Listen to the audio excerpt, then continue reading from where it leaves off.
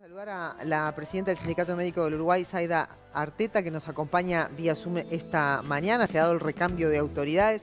Eh, se fue Gustavo Greco, que le tocó también una, presidencia en medio de la turbulencia de la, de la pandemia, ¿no? Con este, dimes también con el gobierno en cuanto al manejo que hizo este, el gobierno de la calle Pau de, la pandemia. Ahora, ojalá se vengan otros aires y otros tiempos para todos, ¿no? Tenemos ahí la Delta en la puerta y con algunos anuncios, Zaida, respecto a la necesidad de ya una tercera dosis con Pfizer, lo ha dicho en las últimas horas el secretario de la presidencia, Álvaro Delgado. ¿Cómo estás, Zaida? Gracias por estar con nosotros.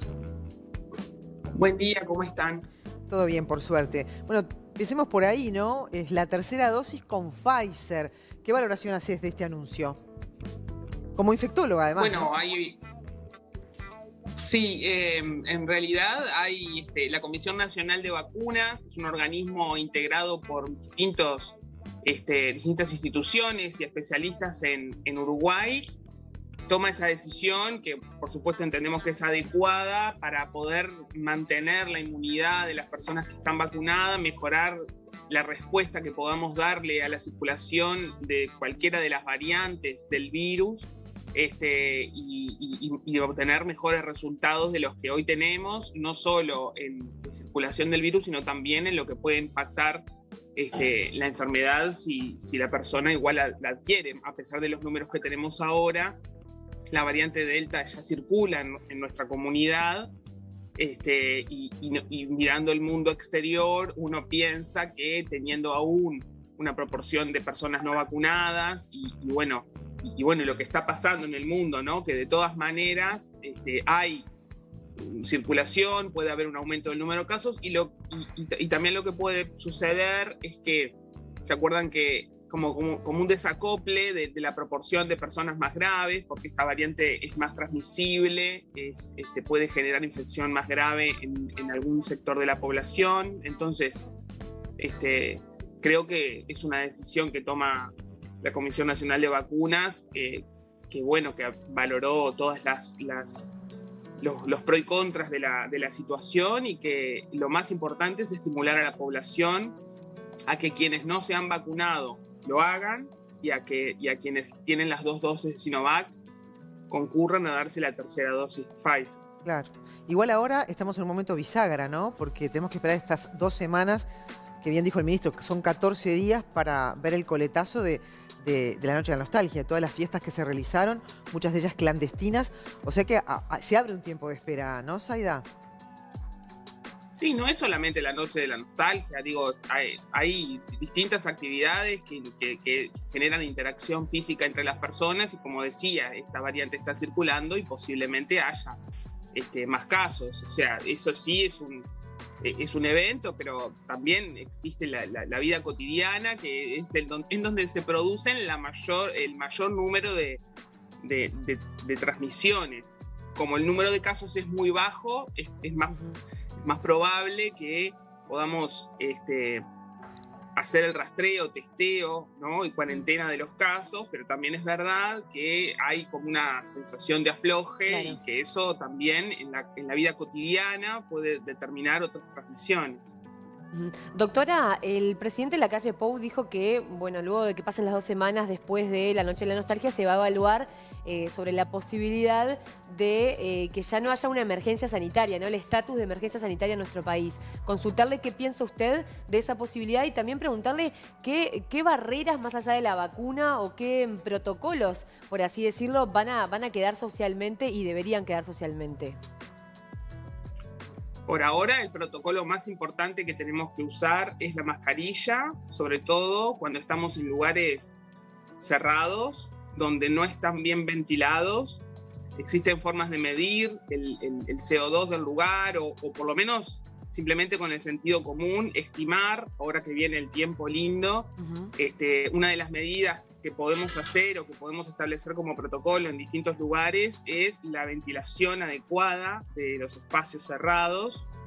Eh, y, ir por ese lado, ¿no? Porque antes nosotros está comprobada la transmisión de diversas maneras, pero sabemos que la, más importante es la de permanecer en lugares cerrados por mucho tiempo y bueno, por supuesto sin mascarilla o haciendo actividades que sin mascarilla. O sea que los protocolos más importantes serían mantener la mascarilla lo más posible, sobre todo con personas que no son este, intradomiciliarias, en cualquier espacio público, sobre todo los cerrados, más que nada, y, y ventilar los lugares de forma adecuada. O sea, todos los protocolos, en base a la evidencia actual, deberían ir sobre todo por ese lado. No, no es que no exista lavado de manos, no es que pero eh, esa, esa parte que también la sabíamos, pero esto es la, a la que ahora le tenemos que dar más importancia y por eso eh, pensamos que sí, que la mascarilla se va a quedar por un tiempo y, bueno, y, la parte esta de la distancia y, la ventilación de los lugares cerrados también. ¿Y qué piensa de la posibilidad de que, bueno, se,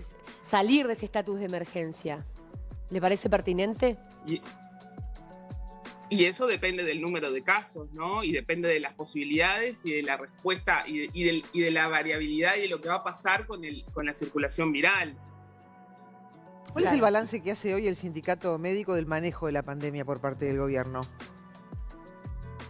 Y el manejo de la pandemia ha tenido puntos muy altos, como el de la vacunación o el de la contención de la epidemia en, el, en la primera parte, en el año 2020. Eh, que han generado, eh, que, son puntos muy buenos, ¿no? Que hemos generado realmente la, disminución del número de casos en el caso de la vacunación y también la, no transmisibilidad de, la, de, COVID en Uruguay durante el primer año prácticamente, de marzo a octubre o marzo del año 2020. Y después tiene un punto bajo que es el de el de no haber logrado controlar el número de casos a partir del verano de este año y, bueno, y esa, curva exponencial que podíamos haber evitado con todas las consecuencias. O sea, el balance tiene, además de muchas más cosas, pero básicamente es eso. Para los equipos de salud fue eh, realmente como un tsunami para muchos, este, muchas, porque fue la, la contención de, de miles y miles de casos este, que se atendieron en circunstancias no ideales. Este, eh, eso quiere decir que los resultados de, esa atención a la salud eh, podían haber sido mejores si hubieran sido menos casos, porque hubo una demanda excesiva con respecto a las posibilidades del sistema, de los recursos humanos y materiales. Eh, si bien se multiplicaron, ¿no? Las horas de trabajo, los recursos materiales, el número de cargos, etcétera. De todas formas, hubo una demanda que superó ampliamente las posibilidades de atención de calidad del sistema. Saida, eh, buen día, ¿cómo te va? Yo quería preguntarte, obviamente ahora estamos entrando en una nueva fase de la pandemia, por suerte, ¿no? Con el descenso de casos. Tú ahora como presidenta del Sindicato Médico del Uruguay, ¿Cómo es el vínculo del sindicato con las autoridades específicamente de la salud, con el ministro Salinas? ¿Y de qué manera quizás de forma conjunta se pueda empezar a transitar esta nueva etapa de la pandemia? El vínculo del Sindicato Médico del Uruguay, organización que tiene más de 101 años, cumplió en el mes de agosto de este año, este, es el que tiene que ser, ¿no? Somos un gremio, un colectivo de profesionales representativo en el país que dialoga con distintas organizaciones y con el gobierno mm, de una manera que a veces estamos de acuerdo, a veces estamos en desacuerdo, pero no, no, encuentro que haya ninguna diferencia, más que, bueno, en cosas coincidimos y en otras no, porque hay puntos de vista y eh, eh, opiniones, propuestas distintas o a veces la misma porque en, muchísimas cosas coincidimos mucho. Este, y en realidad estamos ahora solicitando una reunión, estuvo el ministro en el, cambio de mando y tenemos un diálogo bastante abierto, sobre todo con el ministro, con el subsecretario, hemos, nos hemos reunido muchas veces y, ahora tenemos una, reunión pendiente para hablar de algunos temas que nos quedaron sobre todo de perspectivas, no solamente de la pandemia, sino de otros problemas que tenemos entre manos, como cuáles, este, por que ejemplo, tienen que ver con la calidad de la atención a las personas y el trabajo.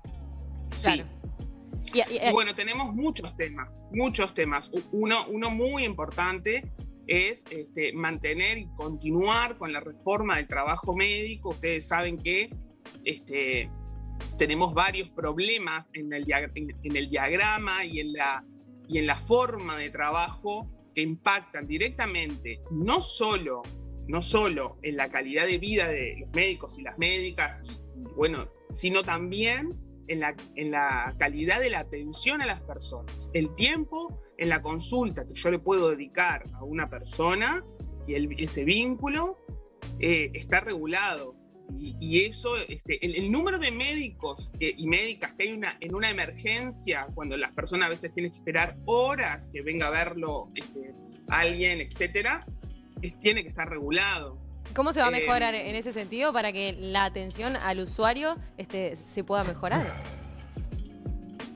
Y bueno, es lo, es lo que estoy diciendo. Nosotros tenemos una propuesta que venimos trabajando desde hace 10 años en la cual hemos avanzado muchísimo que le llamamos reforma del trabajo médico, que tiene que ver con eso, con que haya concentración del trabajo, disponibilidad de recursos humanos. Nosotros tenemos eh, número de, médicos suficientes en Uruguay como para poder dar respuesta a todas estas situaciones y, no tener que correr y no tener que este, estar como eh, yendo de un lugar al otro y, que cuando la persona quiere acceder a un, a un colega no, no tiene, no tiene hora y, todo eso que es, forma parte del sistema de salud, si bien hay cuestiones que son de gestión del sistema de salud, no, no solo son relacionadas con el trabajo de los médicos y las médicas, hay una parte muy importante que sí está relacionado con la forma de trabajar este, y que la reforma de, de los cargos y, y, de los laudos y de la estructura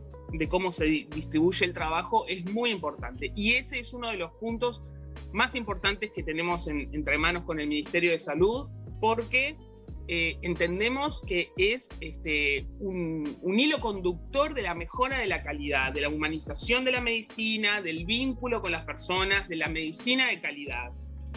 Ahí está, Zaida, te queremos agradecer especialmente tu tiempo para el programa esta mañana. ¿eh?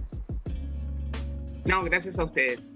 Era Zaida Arteta, la Nobel Presidente del Sindicato Médico del Uruguay.